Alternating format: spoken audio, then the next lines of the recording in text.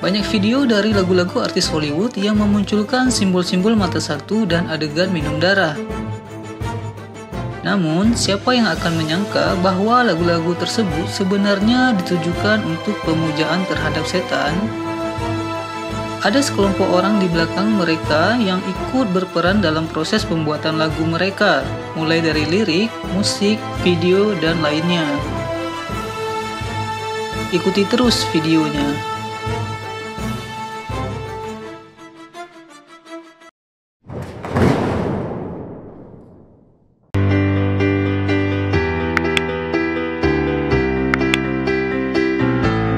Dalam lagu, banyak pesan-pesan tersirat yang sering kali dikaitkan dengan teori konspirasi Illuminati.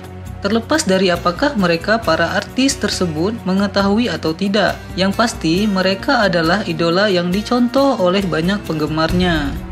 Seperti artis-artis rapper Kanye West dan Jay-Z kerap memunculkan simbol Illuminati di setiap pertunjukannya. Dan Lil Nas X bahkan sudah mengakui dirinya bagian dari komunitas LGBT dan memakai jas berwarna pink dengan simbol mata satu. Banyak video dari lagu-lagu artis Hollywood yang memunculkan simbol-simbol mata satu dan adegan minum darah. Seperti video klip Billie Eilish, Post Malone, Lady Gaga, dan masih banyak lagi.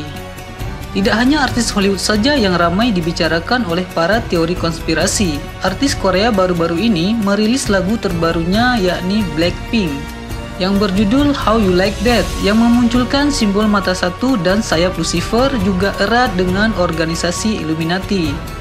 Tak hanya Blackpink, artis BTS dalam videonya juga kerja memunculkan simbol Illuminati seperti api dan simbol Fallen Angel. Banyak sekali syair lagu yang menceritakan tentang kisah cinta yang ditujukan untuk kekasih ataupun pasangan. Namun, siapa yang akan menyangka bahwa lagu-lagu tersebut sebenarnya ditujukan untuk pemujaan terhadap setan? Masih ingat dengan pembahasan saya mengenai kabalah agama artis dunia?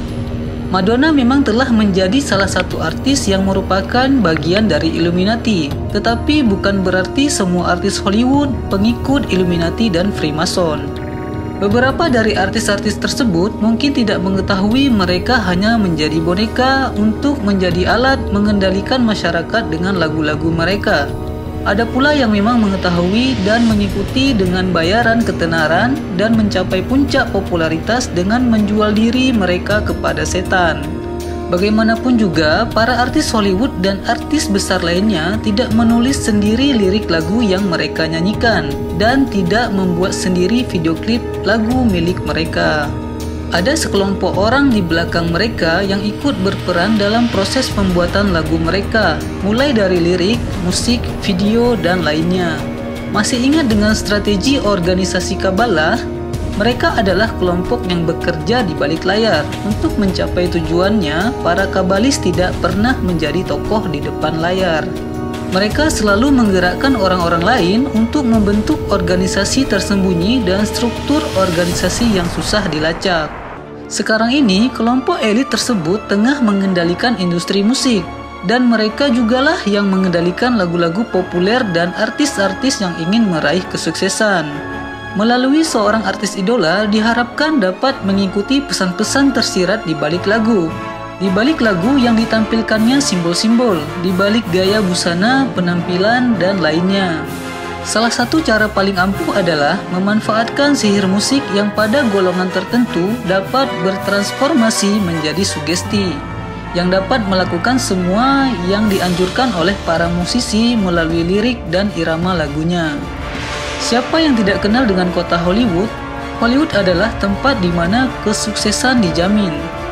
Hollywood yang berarti kayu suci berasal dari kata holy dan wood, yakni kayu yang bisa dipakai untuk membuat tongkat sihir.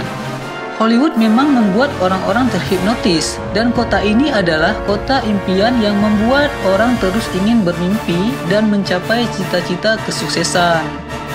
Jangan lupa like dan subscribe, insya Allah saya akan membuat video yang lebih baik lagi.